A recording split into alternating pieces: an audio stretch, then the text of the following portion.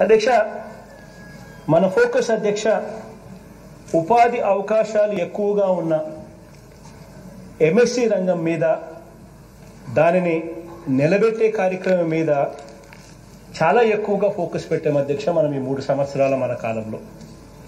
దాదాపుగా పన్నెండు లక్షల మందిని ఈ ఎంఎస్ఎంఈ రంగం ఉపాధి అవకాశాలను కల్పిస్తూ ఉంది. దాదాపుగా లక్ష ఇరవై వేల మంది లక్ష ఇరవై వేల మంది వేల కంపెనీలు.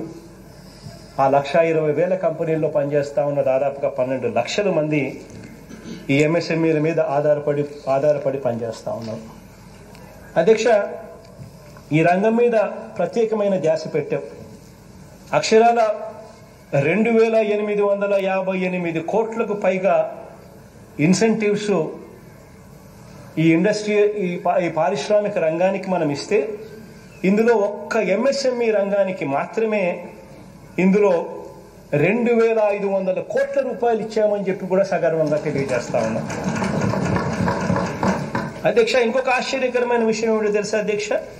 ఈ రెండు వేల ఐదు వందల కోట్ల రూపాయలు మనం ఇచ్చిన ఈ ఎంఎస్ఎంఈలకు ఇన్సెంటివ్స్గా మనం ఏదైతే ఇచ్చినామో ఇందులో రెండు వేల రెండు వందల కోట్ల రూపాయలు చంద్రబాబు నాయుడు గారి హయాంలో బకాయిలు.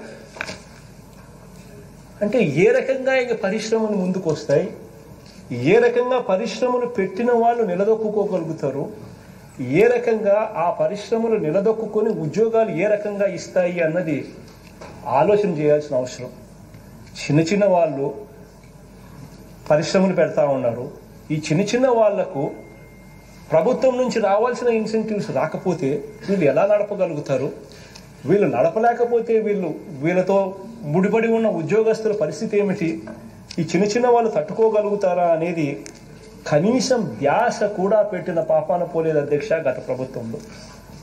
ఏకంగా రెండు వేల రెండు వందల కోట్ల రూపాయలు గత ప్రభుత్వానికి సంబంధించిన బకాయిలేనంటే అర్థం చేసుకోవచ్చు ఏ రకంగా ఎంఎస్ఎంఈ సెక్టర్ను ఇన్ని లక్షల మందికి ఉద్యోగాలు ఇచ్చే ఈ సెక్టర్ను ఏ రకంగా చంద్రబాబు నాయుడు గారు కూనీ చేశారు అని చెప్పడానికి.